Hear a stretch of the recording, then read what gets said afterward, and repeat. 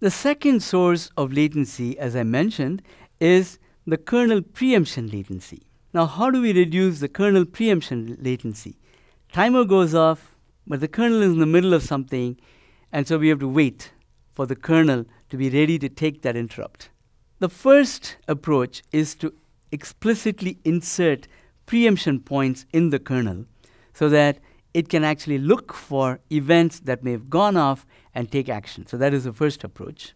The second approach is to allow preemption of the kernel anytime the kernel is not manipulating shared data structures. Now, the reason why you don't want the kernel to be preempted is because it is manipulating some shared data structures, and if you preempt that, that can result in some race conditions in the kernel, bad news. So, what we want to do is we want to make sure that the kernel is not preempted while it is manipulating shared data structures, but if it is not, then we want to allow preemption.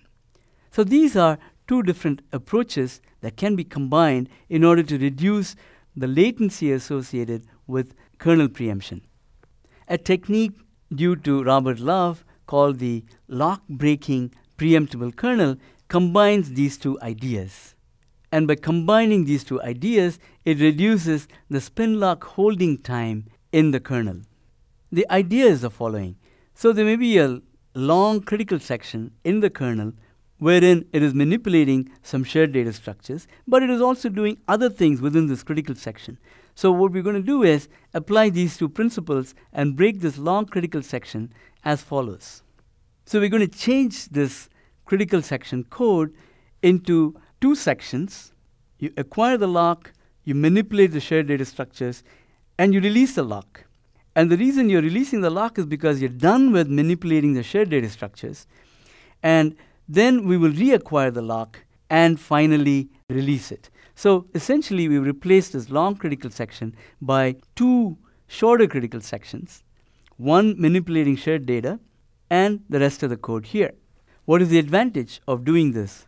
What we can do is, at this point, once we've done with manipulating shared data, we release the lock, and at this point, we can preempt the kernel safely. And since we can preempt the kernel at this point, it's a great opportunity to check for expired timers at this point. If there are expired timers, dispatch them, reprogram one shot timers if need be. All of that stuff can be done at this point, and then you can come back, reacquire the lock, and continue with the critical section. So that's the idea in the lock breaking preemptible kernel that combines these two ideas of explicit insertion of preemption points and allowing preemption anytime the kernel is not manipulating shared data structures. The third source of timer latency I mentioned is the scheduling latency.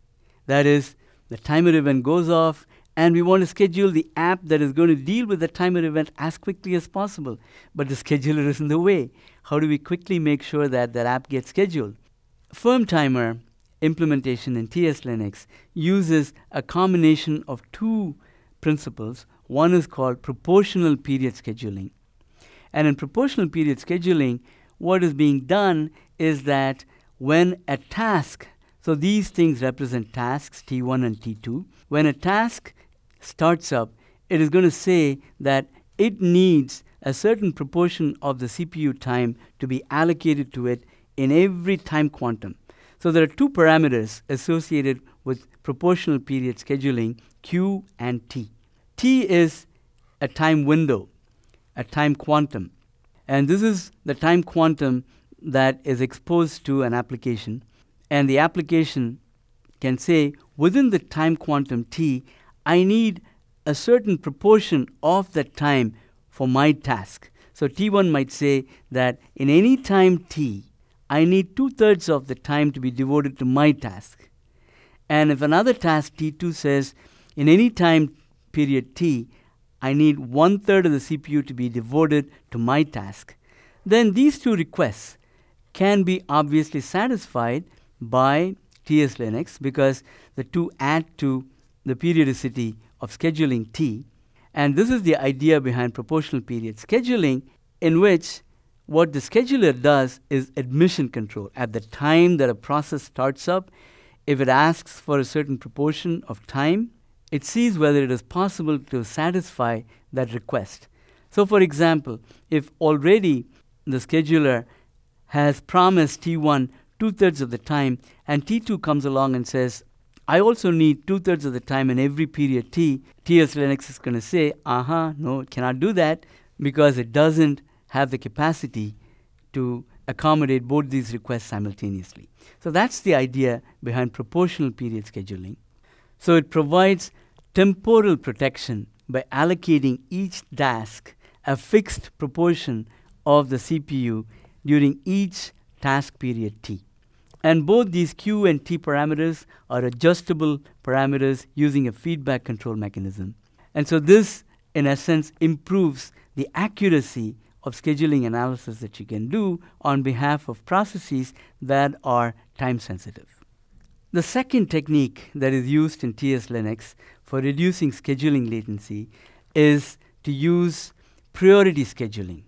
And let me motivate that by introducing a problem that plagues real time tasks, and that is what is called priority inversion.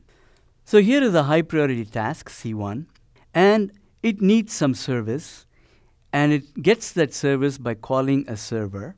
And this call is a blocking call to the server, and the server itself may be a low priority server. For example, this client may contact a window manager to say, I need a portion of the window, and this is what I want you to do in terms of painting that portion of the window. That might be a call that a high priority task is making to a low priority server. And this is a blocking call, and until the server is done with its work, this high priority task cannot continue execution. So if you look at the timeline, C1 is running and it makes a blocking call at this point, and the server takes over. And this is the service time for the server to execute the blocking call made by C1. So at the end of this service time, C1 is ready to run again, but not so fast. It could be that during the service time of this low priority server on behalf of C1, some of the higher priority task, C2, which perhaps was waiting for some IO completion, becomes runnable again. If it becomes runnable again, then this higher priority task compared to this server is going to preempt the server and take over the CPU. So, what happens at this point is that this medium priority task, because it is higher than the server's priority, it's going to take over, preempting the server, and that is essentially a priority inversion so far as C1 is concerned, because C1 is higher in priority than C2. But unfortunately, at this point of time, the server is the one that is scheduled, and that is lower priority than either of these two guys. And therefore, C2 happily preempts the server and takes over the CPU. But from the point of view of C1, that's a priority inversion. And it is a time sensitive task that affects the sensitivity of the time sensitive tasks. This is where the priority based scheduling of TSL saves the day for us. Basically, the idea is that when C1 makes a request to the server, the server is going to assume the priority of C1.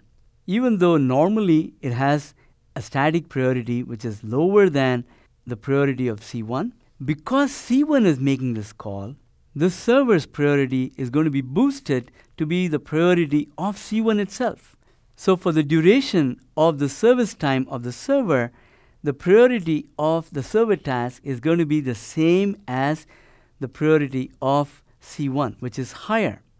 Now, C2, when it becomes runnable, it cannot preempt the server because the server is now running at the priority of C1, and therefore we avoid the priority inversion that would have normally happened because of the priority based scheduling in TS Linux. So the upshot is that there'll be no priority inversion with this priority based scheduling mechanism that is there in TS Linux. So to recap, TS Linux avoids scheduling latency to shrink the distance between the event happening and event activation by doing this admission control through the proportional period scheduler And also, it avoids priority inversion by using this priority based scheduling. So, these two mechanisms allow shrinking that distance as well.